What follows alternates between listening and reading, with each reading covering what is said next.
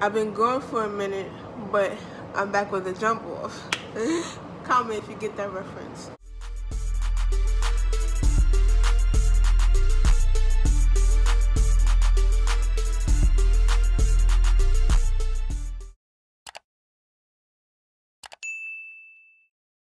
I just got finished washing my natural hair and it's kind of wet right now so I'm gonna be doing the LCO method that's liquid cream oil. So the liquid is water not leave-in conditioner it's water liquid water. What I'm using for the cream is leave-in conditioner. It's not focusing. Wait, hold on. That right there.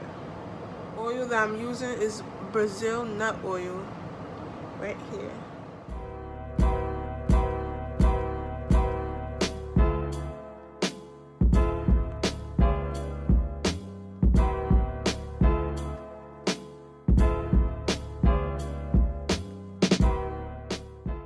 already detangled my hair, so it's not gonna be like that much shedding.